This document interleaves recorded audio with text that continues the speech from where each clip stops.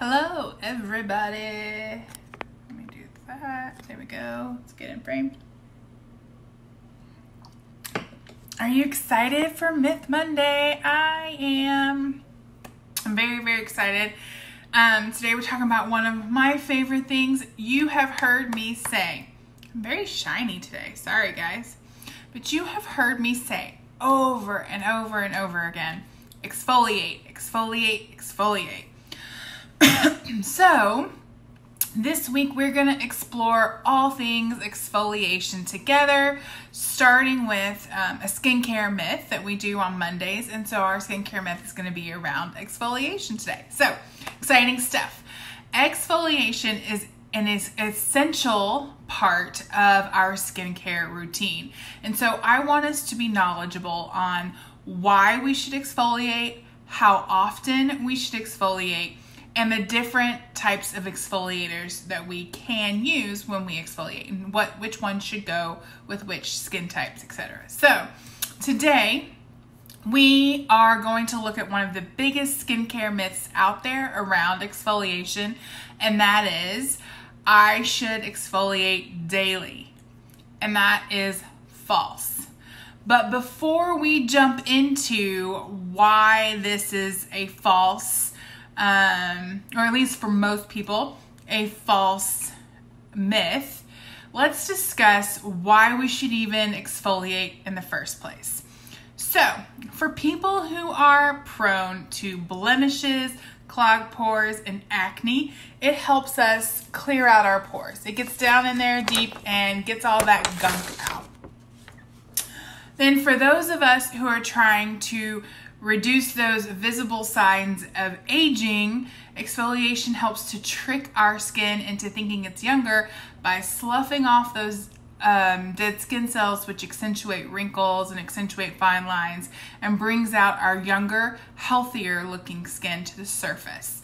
And then for all skin types, the exfoliation gives our face an instant glow by clearing away those dead skin cells that cause the, cause the dullness and by allowing other products that we put onto our face to penetrate more effectively because they're not trying to have to get through that layer of dead skin cells. Okay?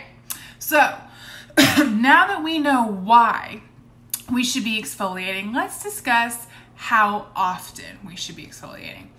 Daily exfoliation can be pretty harmful to our skin. You have to have really healthy skin to be able to do daily exfoliation.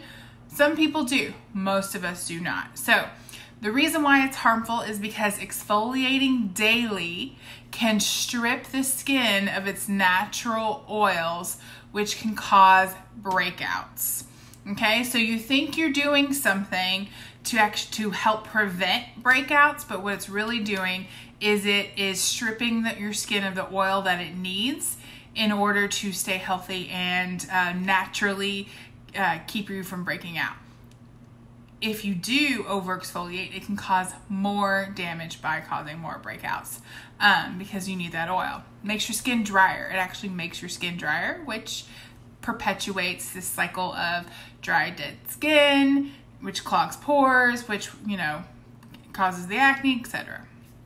Um, and if that isn't enough, it can also cause irritation because you're removing the top layer of skin before it has a chance to regrow, to heal itself. Um, so it's like if you had you don't have scabs on your face, but it's like if you had a scab and you keep, you think you're trying to clean it, but you're cleaning it with something that's grainy and harsh.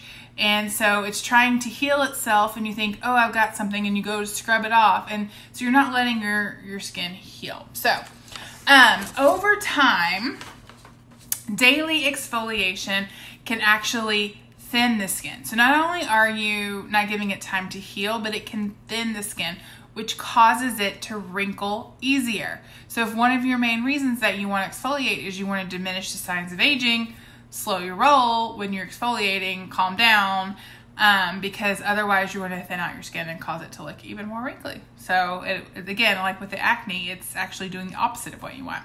Our skin is a smart organ, people. It knows what it needs and it tries to give it to itself. And it's outside, generally outside influencers that hurt it, like weather or other environmental factors and pollution or things we put on our face, okay? So it will shed this dead skin cells itself if it's exacerbated by some of those um, environmental or weather related things that we talked about. Sometimes it needs our help. Um, but if we were living in a perfect world, it would do what it needs to do by itself. If we exfoliate too often, it can actually slow down that cell turnover. So, how often should you exfoliate? No more than two to three times a week um, for most people with normal to combination skin. However, if you have sensitive skin, do it once a week, okay? Because sensitive skin has already got enough going on that it doesn't need added irritation. It's already trying to build back up that barrier without something there trying to take it back out every two to three days or two or three times a week, okay?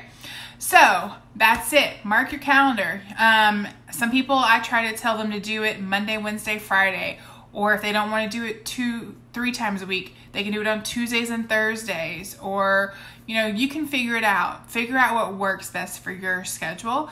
But if you are doing it once a week, maybe it's you know um, it's part of your your self care Sunday. You do a uh, you do a scrub or some sort of exfoliator. We'll talk about the different times types because they're not all scrubs um, later in the week. So that is our myth busted today. This week, um, we'll be talking even more in detail all about exfoliants and exfoliating our skin I'm actually going to be traveling quite a bit for my uh, my job A this week, so we're going to kind of move around the schedule a little bit. So typically on Mondays, I do skincare myth Monday.